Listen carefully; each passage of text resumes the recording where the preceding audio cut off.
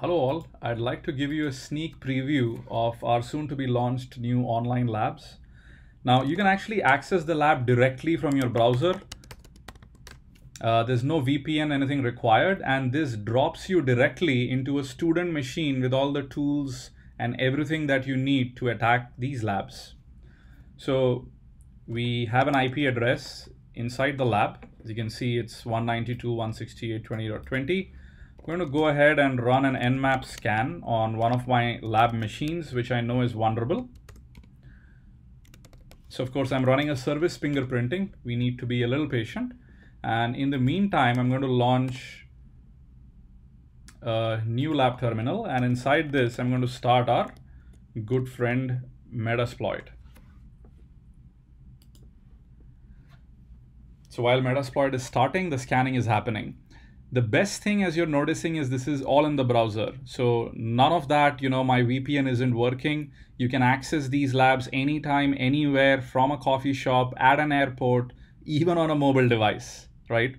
And you don't have to worry about firewall rules or anything. So this is going to be served on HTTP, HTTPS, whatever you like.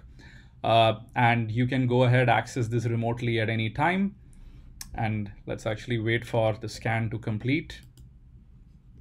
So this is a long scan because I'm doing service fingerprinting. Let's give it a couple of seconds. I'm really very excited. I think at this time, I am the person using the labs the most.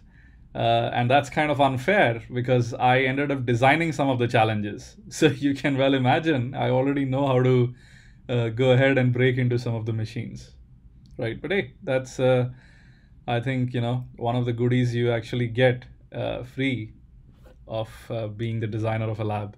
So there you go. Uh, we can see that we've run our port and service fingerprinting. And on the other terminal, our Metasploit console is all ready for us. I'm going to go ahead and uh, put in the commands. Our IP address is 20.20.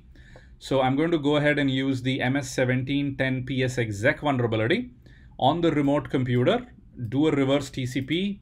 Uh, source port number, uh, source IP address is ours. Hit exploit.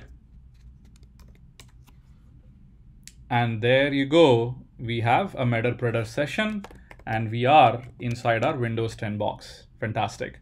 So I'm really excited. This is going to be launched shortly. Please leave your comments. I'm curious to know what you think. Thank you.